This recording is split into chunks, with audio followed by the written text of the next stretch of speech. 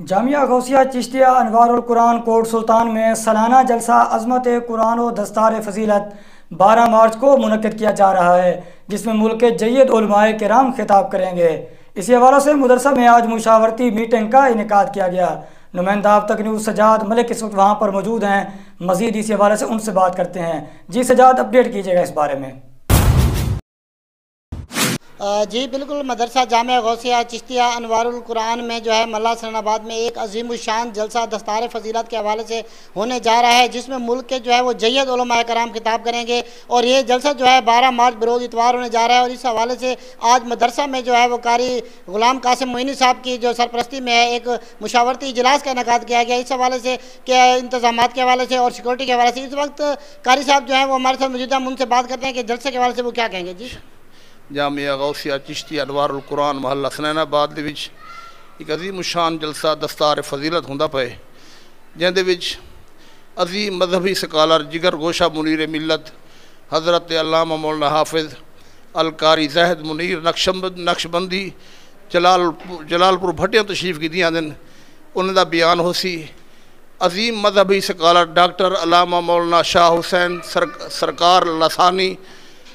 लसानी गुजरा वाला तशरीफ़ की भी खसूसी बयान हो सी।